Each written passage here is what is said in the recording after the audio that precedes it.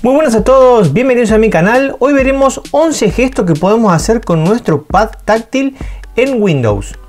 Te comento que este pad es completamente táctil, pero en la parte inferior tenemos disimulados el clic izquierdo y el clic derecho. Fíjense que si yo presiono esta parte se me abren las opciones como si tuviera un clic derecho con el mouse. Haciendo un toque simultáneo con dos dedos, despliego el menú secundario como si tuviera el botón derecho del mouse. Luego para seleccionar un conjunto de carpetas puedo mantener presionado en el pad y arrastrar con un segundo dedo o si no directamente hacer un doble toque y el segundo sostenido. Así y despliego un menú para seleccionar diferentes objetos. ¿sí? Fíjense ahí, despliego. Perfecto. Pero si realizamos este comando en texto, vamos a tener algunas funciones extra.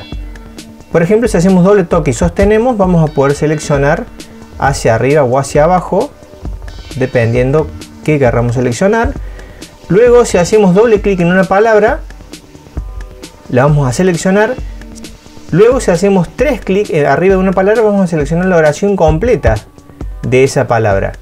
Bien, si hacemos cuatro clics, vamos a seleccionar el párrafo completo. Para hacer zoom simplemente debemos presionar dos dedos al mismo tiempo y separarlos o unirlos para acercar o alejar la pantalla. ¿sí? Esto también por supuesto que funciona en las páginas web. ¿sí? En este caso fíjense, cambia el punto donde se acerca la imagen. Para desplazarse dentro de una web simplemente debemos hacer dos toques sostenidos y deslizar hacia arriba o hacia abajo. Este gesto también sirve para deslizarse hacia los costados. Fíjense, yo puedo navegar por toda la página web simplemente deslizando dos dedos. El sexto gesto que vamos a ver es simplemente haciendo un triple toque. En ese caso vamos a abrir la barra de búsqueda independientemente de qué aplicación estemos utilizando. ¿sí? Fíjense, cambiamos, hacemos triple toque y se abre la barra de búsqueda. En el escritorio también, triple toque y abrimos la barra de búsqueda. Para minimizar una ventana simplemente no hace falta que nos vayamos hasta la esquina superior derecha. Para minimizar una pantalla simplemente debemos hacer tres dedos hacia abajo. Para maximizarla, tres dedos hacia arriba. ¿sí? La ventana que tengamos seleccionada, esa es la ventana que vamos a minimizar o maximizar.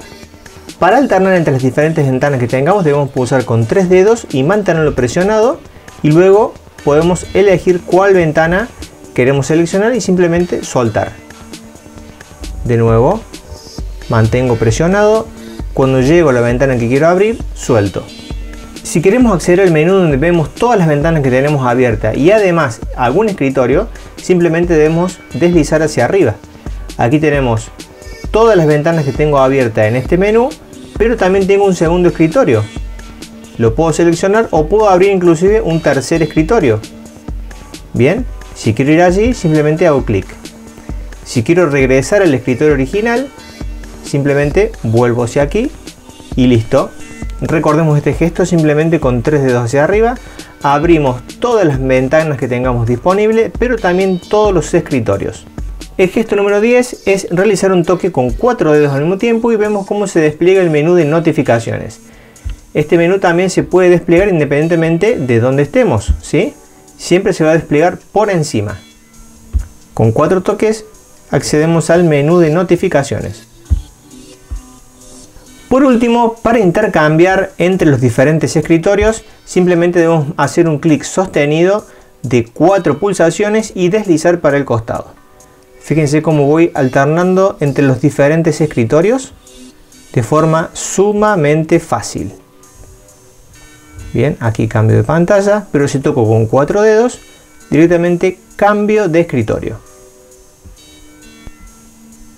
Muy bien amigos, hasta aquí el video de hoy, espero que te haya gustado, si es así te invito a que le dejes un like, algún comentario y que por supuesto te suscribas al canal. Espero que estés muy bien y nos vemos en la próxima.